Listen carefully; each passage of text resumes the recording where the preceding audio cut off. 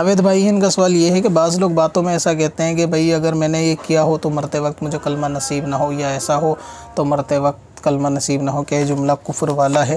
क्या इसमें कुफ्र की ख्वाहिश है या नहीं? असल में ये जुमला कुफ्र वाला नहीं है। और ये अपनी बात को अपना आप को सच्चा दिखाने के अतबार से बंदा कहता है कि भाई अगर मैंने ये काम वाकई में नहीं किया, मैं इस मामले में बिल्कुल सच्चा हूँ। अगर ऐसा नहीं है तो मुझे मरते वक्त कलमा नसीब ना हो। इस तरीके के जुमले कहते हैं अपने आप को सच्चा साबित करने के लिए जब सामने वाला एतबार ना कर रहा हो। ये जुमला इस एतबार से कुफर का नहीं है, लेकिन इस तरीके के सख्त जुमले बोलने भी नहीं चाहिए। ठीक है, अगर एतबार दिलाना उसके लिए कसम का कॉन्सेप्ट है शरीयत के अंदर कि आप कसम खिलवाएँ उसको या कसम उठवाएँ तो उससे मालूम उसकी हक्कानियत का हो जाएगा।